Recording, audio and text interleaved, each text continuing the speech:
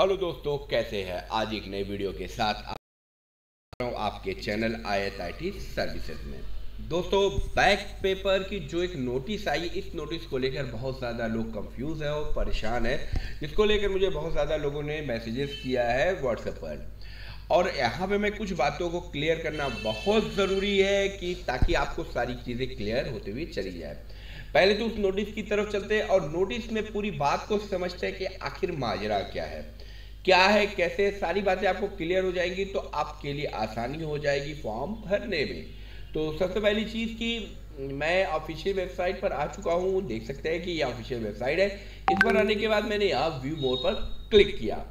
जैसे मैंने व्यू मोर पर क्लिक किया क्लिक करने के साथ ही यहाँ पे देख सकते हैं कि 19 दस को एक अपडेट आई थी फॉर्म को लेकर। अब इस फॉर्म को मैं थोड़ा सा ओपन करता हूँ। ओपन करने के साथ ही यहाँ लिंक आ गया। इस लिंक पर मैं क्लिक करता हूँ।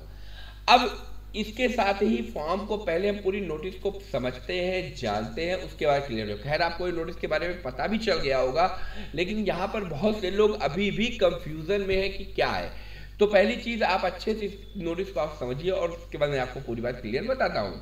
तो दोस्तों, देख सकते हैं कि मानिक कुलपति जी के आदेशानुसार इतना ये के तहत B A B S C B com द्वितीय चतुर्थ सेमेस्टर स्नाकोत्तर ये ये और द्वितीय सेमेस्टर और प्रवासी प्रणाली B Ed M Ed L L B B P Ed ये क्लासेस सारी दी गई। इसमें से कोई भी आप हो सकते हैं किसी भी क्लास को। तो यहाँ से अब एक पॉइंट को बहुत ध्यान से हमको समझना है। ये पॉइंट मैं आपको बाकायदा हाईलाइट करके बता देता हूँ कि छूटे हुए, यहाँ से आप इस चीज़ को समझिएगा, छूटे हुए परीक्षार्थियों की प्रायोगिक मौखिक परीक्षा।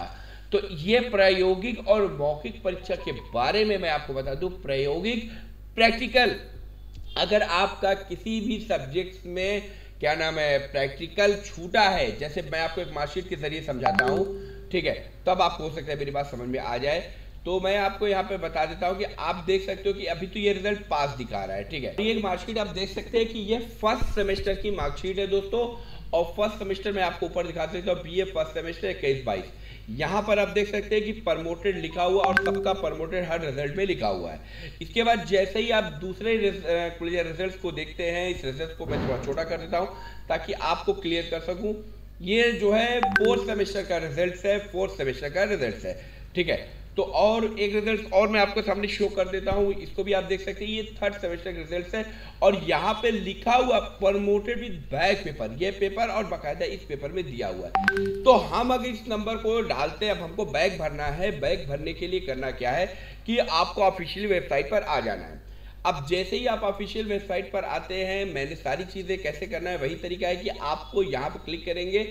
इवन या आप यूजी या किसी का भी आप भरते हैं तो सिमिलर तरीका यहाँ पे आपको आ जाना है। आने के बाद आपको यहाँ पर, क्या नाम है यूजी उसके बाद यूजी के अंदर आप किस सब्जेक्ट का भरना है B A B S C अभी फोर्थ सेमेस्टर का यहाँ एक्टिव नहीं हुआ है, देख सकते हैं फोर्थ सेमेस्टर भी नहीं है, सिर्फ़ सेकेंड तक रखा गया है। इसको चूज़ करेंगे रोल नंबर या इन रोल नंबर कोई भी रजिस्ट्रेशन नंबर सॉरी आपको रोल रजिस्ट्रेशन नंबर या रोल नंबर रोल नंबर डाल दीजिए फादर ने भी यहाँ से ईयर को चूज़ कर लीजिए जैसे ही आप ईयर चूज़ करेंगे तो वो मैं आपको दिखा देता हूँ, कुछ इस तरीके से आपके सामने आ जाएगा।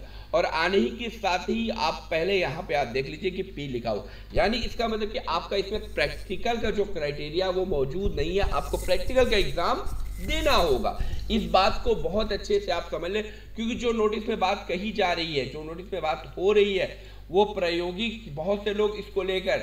ये प्रैक्टिकल और वाइवा की, अगर आपका किसी सब्जेक्ट में प्रैक्टिकल या वाइवा छूटा हुआ है तो आप इसके फॉर्म को भर कर जो है दे सकते हैं, अपने मार्कशीट को कंप्लीट करा सकते हैं। लेकिन आपका किसी ऐसे पेपर में लगा हुआ है जिसमें जो है कोई भी, क्या नाम है बैक नहीं है।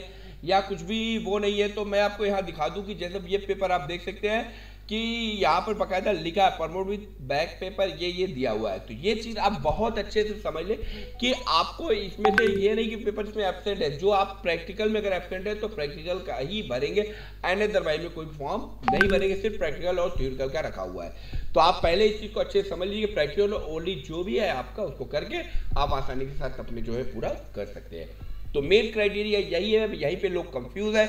उनको लगता है कि हम किसी भी पेपर भर सकते हैं। ऐसा नहीं है, सिर्फ़ और सिर्फ़ प्रैक्टिकल का ही उनको भरना है, या वाइवा का भरना है। दैट्स इनफ आगे कुछ भी नहीं, दोस्तों, मेरी बात समझ में आ चुकी होगी। अगर आपको कोई दिक्कत आती है तो आप मुझसे कॉन्टेक्ट कर लीजिएगा, मैं आपकी पूरी हेल्प करूँगा। तो उम्मीद करता हूँ, मैं मिलता हूँ नेक्स्ट वीडियो में। तब तक के लिए घर पे रहे, सुरक्षित रहे।